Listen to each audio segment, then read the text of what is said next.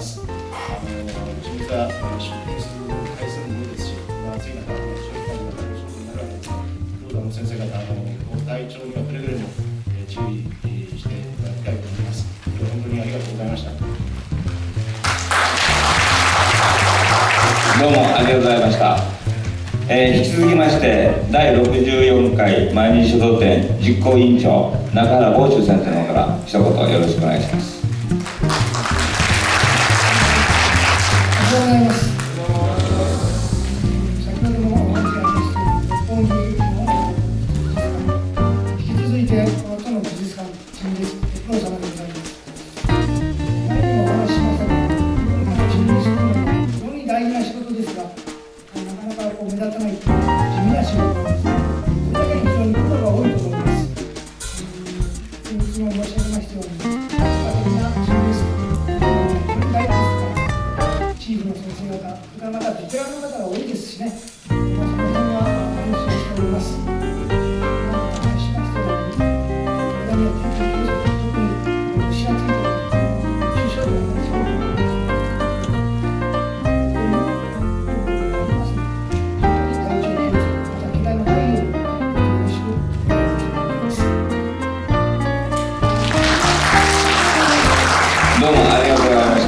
それでは引き続きまして、第64回毎日書道展陳列部長、長森宗久先生の方から一言ご挨拶をお願いします。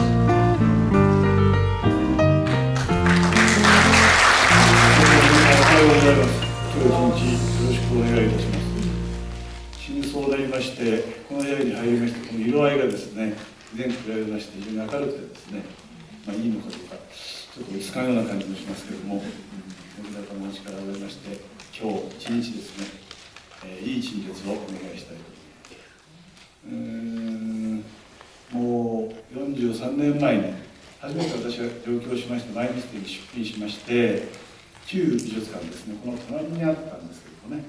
7月の20日あたりが当時はオープンでして、えー私漢字に出しまして落選いたしましてしげた感じで毎日展見に来た思い出をですね。今日久しぶりになんとなくそういう感じでですねこの辺歩いてましてそういう感じがいたしましてですねああ長いなと。そしてこの64回転という過去の歴史の中で先人たちがですねこの展覧会を大事にしてここまで育っていただいたということに本当にこの私たちありがたいなと思いながらですね大事にしていきたいと思います。その陳列でありますのでどうぞよろしくお願いいたします。ありがとうございました。それではあのーこの際ですので、我々毎日書道でこの陳列部を預かります。役員の先生方をあのご紹介させていただきます。えー六本木の時にはなかなか顔がわからないので、えー上に立ってるひな壇に立ってるなんとなくむさ苦しい人たちばっかりですけども、えー実行委員長中原浩一先生は先ほどご挨拶いただきました。それから陳列部長長森総義先生も先ほどご挨拶いただきました。で部長補佐の、えーなえー笠井玄斗先生。同じく部長補佐の小田川大学先生です。それでは副部長の先生方、えー漢字部西方澄治先生。駒崎隆法先生、えー、かな部大賀清蓮先生。小林清蓮先生。近代史文近代史文書坪本大水先生。田村定雲先生。第二章いきます。後ろ後方第二章尾崎岳先生。竹澤正一先生。天国部安倍一子先生。宇中恵美子先生。それから国事部井上都道先生。井岡博美先生。前衛諸部山口戦争それから全ての事務を司っていただきます事務主任山本処理先生。ですそれから私マルロレンと言います。よろしくそれから、えー、この先生方を中心に、えーその他委員の先生まであるんですけども時間の関係上ですね、え全先生方の紹介できませんけども、え副部長補佐の先生方今緑のビブスを着ていただいている先生ちょっとお立ちくださいませ。これからの後ろ向これからのあの毎日を背負って立つ若手ですのでこの先生を中心に部長先生それから副部長先生それから補佐の副部長補佐の先生中心にやっていきます。よよろしくお願いします。それからですね、えー、各チームに分かれて事務事務の全て、えー、作業をしていただいているチーフの先生方。このチーフの先生方がいないと我々全然お手上げなんですね。そのチーフの先生方、えー、白ビブスを着ていただいている先生方です。ちょっとお立ちくださいませ。急いで来てくださいよ。急いで来てくださいよ。この先生方を中心に各フロア各部屋ごとで、えー、今日一日ですので、えー、やっていただきますので一つよろしくお願いいたします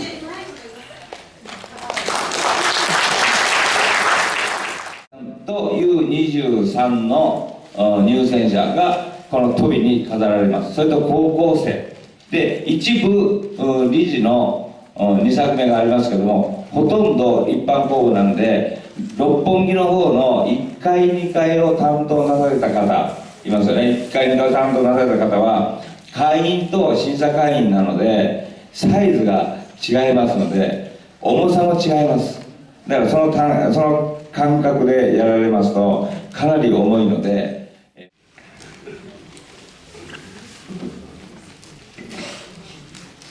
あの近代新聞社の小田川大也と申します。よろしくお願いします。えー、それではあのえ作業手順といいますかあの、え3つの項目に分けて、え簡単に、えご説明をさせていただきます、え細やかな、えご説明は各フロアに、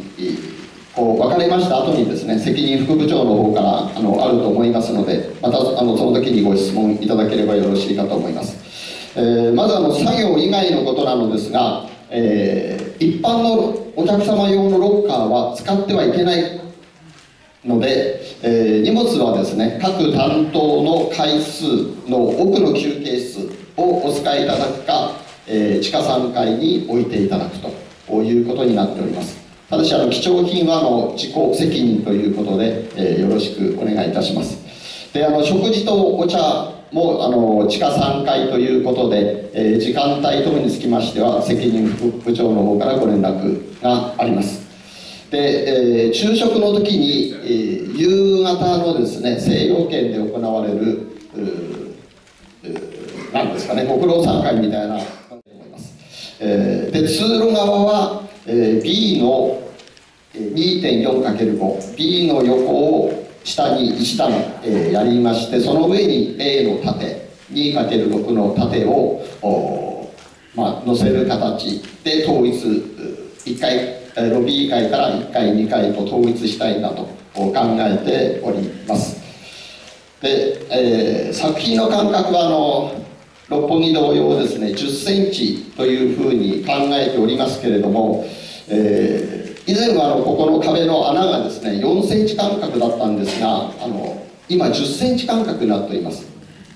なので、えー、作品上下の作品間隔は7センチから9センチぐらいになるだろうと普通に計算すればですね、えなると思いますが、それはあの日美の方と、えー、一応打ち合わせをしております。素人はやってくださるんだと、西日から固く言われております。あの非常にこう難しくなっているので、あの後で作品をが落ちても責任が取れないということで、え必ず日美さんに止めてもらうように今まであの2年前3年前に慣れている先生方であってもですね日さんにお願いをしてください、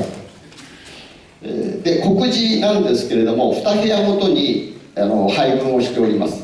2部屋ごとに配分しておりますけれどもそこの部屋のバランス上ですね隣の配分されてない部屋に展示したいということは、えー、もちろん責任副部長の判断で、えー、結構ですので、えー、どしどしあのそういう時にはですねご相談をしていただければと思っております、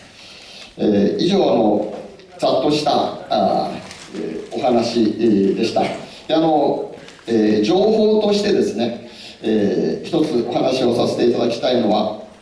えー、各フロア、えー、飛び新美と同じように60名前後のチームになっておりますけれども、えー、新美が3階を担当した人は大体のイメージが分かるんですが27室60名で27室担当していたのをここでは40室担当します。約1.5倍です。で、えー、役員を担当したとこ方々は作品が、えー、大きい分あの少なかったんですけれども、えー、この間の3回はですね1700あ1370本、えー、作品を扱扱ったんですけれども今日は2220本です。1.6倍です。それであの今日一日でやらなければいけないという計算をですね和合先生が、えー、ビールが3倍 ,3 倍美味しく飲める方法ということで決めたです えー、ということであの、えー、結構有意義に今日一日過ごせるのではないかというふうに、えー、思いますので、えー、よろしくお願いしたいと思います。えー、であとそうですねあの倉庫から作品が出てないフロアがある可能性がありますその時にはあの分けをしてですね1棟目からの順次作品分けをしていただくのですけれども何人かの先生は、えー、倉庫から作品を出す作業を、えー、していただくことになるかもしれません。フロアごとにですね。その時もあの責任副部長の先生の指名された先生は、えー、作品出しの方をよろしくお願いします。えー、それではあの、えー、人作品壁の順番で怪我のないように今日も一日よろしくお願いいたします。ありがとうございました。そう今小高先生がおっしゃったように、えー、新美よりもこちらの方が寸法は同じなんですが数が約2倍弱。1.5倍強っていう形になっておりますので、えー、それで1頭から4頭までありますのでゆっくり早く正確に素早くということで5時半からあの西洋圏で美味しいビールを飲むために今日は一生懸命よろしくお願いします。それで、えー、今もあの重複するかと思うんですがえー、作品出しから始めます。今ちょうど日比さんが1頭からずっと出してくれていますので多分1頭2頭あたりは部屋の中にあろうかと思いますけども3頭4頭はまだ作品が倉庫の中にある段階なんで、えー、先生方も一緒に作品出しから